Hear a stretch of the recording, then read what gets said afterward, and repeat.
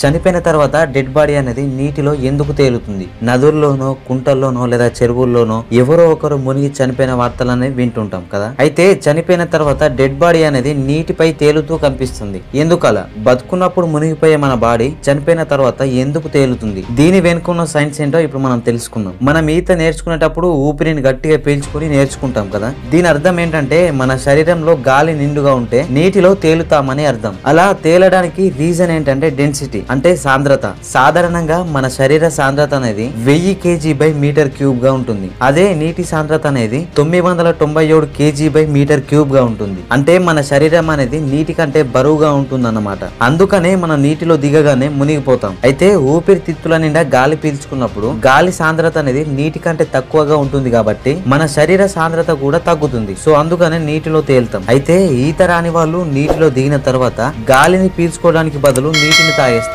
So దీని వల్ల శరీర సాంద్రత అనేది ఇంకా ఎక్కువ అవ్వడం వల్ల వాళ్ళు నీటిలో మునిగిపోయి వాళ్ళ ప్రాణాలను కోల్పోతారు. అయితే చనిపోయిన తర్వాత డెడ్ బాడీ అనేది మునిగిపోయిన కొంత సమయం తర్వాత నీటిపై తేలుతుంది. డెడ్ బాడీ అనేది గాలి పీల్చుకోదు కదా మరి నీటిపై ఎలా తేలుతుందనే డౌట్ మీకు వచ్చే ఉంటుంది. అయితే దీనికి రీజన్ ఏంటంటే మన శరీరంలో ఉండే మైక్రోబ్స్ అనే బ్యాక్టీరియా సాధారణంగా మనిషి బతుకున్నప్పుడు మన శరీరంలో ఉత్పత్తి అయ్యే శక్తిని ఈ మైక్రోబ్స్ కూడా ఉపయోగించుకుంటాయి. కానీ మనం చనిపోయిన తర్వాత మన శరీరంలో ఉన్న కణాలన్నీ పనిచేయడం ఆగిపోతుంది. సో దీంతో కణాల నుంచి శక్తి అనేది రిలీజ్ అవ్వదు కాబట్టి ఈ మైక్రోబ్స్ బతకడం కోసం కణాలను తినడం మొదలు పెడతాయి. సో దీంతో మన బాడీ అనేది డీకంపోజ్ కావడం స్టార్ట్ అవుతుంది. ఈ ప్రక్రియలో కార్బన్ డైఆక్సైడ్ మీథేన్ అండ్ అలాగే అమ్మోనియం వంటి వాయువులు విడుదలైతాయి. శరీరంలో వీటి స్థాయి అనేది పెరిగే కొద్దీ శరీర సాంద్రత అనేది తగ్గడం మొదలవుతుంది. సో దీంతో డెడ్ బాడీ అనేది నెమ్మదిగా పైకి రావడం కొద్దిసేపటి తర్వాత నీటిపై పూర్తిగా తేలడం మొదలవుతుంది. సో మీరు లాస్ట్ వరకు చూసారంటే ఈ వీడియో మీకు నచ్చిందని అనుకుంటున్నాను సో మీరు ఇంకా ఈ ఛానల్ని సబ్స్క్రైబ్ చేసుకోకపోతే సబ్స్క్రైబ్ చేసుకొని నాకు సపోర్ట్ ఇవ్వండి.